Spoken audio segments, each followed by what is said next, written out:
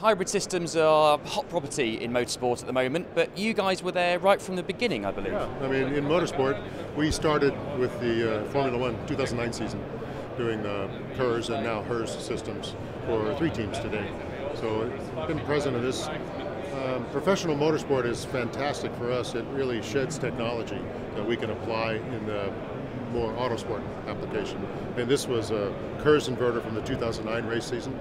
And um, now that we've been working at HERS since 2012, this is a, is a heat energy recovery inverter for automotive applications. So taking the technology from racing, from Formula One, and now applying it to sports car and in the next few years, heavy duty trucking, where there's significant carbon emissions that can be uh, removed. So it's a great benefit. And how far has the technology progressed in about a decade or so? Uh, it's progressed quite a ways. I mean, the, uh, this is a pretty crude inverter compared to what's built today. Uh, this is a Formula E spec inverter, silicon carbide. Um, this is 240 kilowatt. This was 60 kilowatt, and they're about the same, about the same weight. It's only slightly bigger. So, quite a few strides. The technology is moving from silicon power devices to silicon carbide in motorsport not so much in automotive because of the cost, but in motorsport, benefit of efficiency, size reduction is, is super important.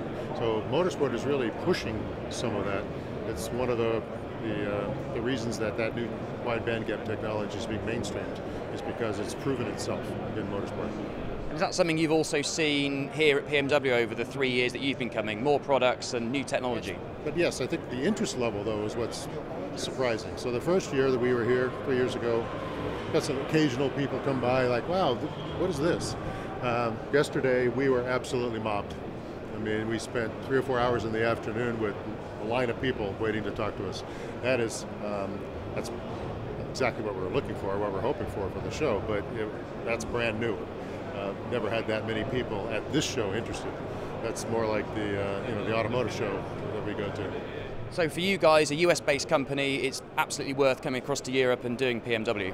Our company in particular, I'd say 80% of our customers are in Europe. You know, unfortunately, there's only three automotive companies in, in the States, and we're too small to service them. So in Europe, there are a bunch of very innovative small companies, and there's a bunch of people who, who are OEMs, but they may build 10 cars a year, 40 cars a year, something like that. That's our that's our marketplace. So we're selling to them for road homologated vehicles. Uh, some of them safety certified, some not. Depends on the on the application. But um, you know that that's the production we get. And motorsport is the entree to that. You have to to have the performance to be able to be in a hypercar.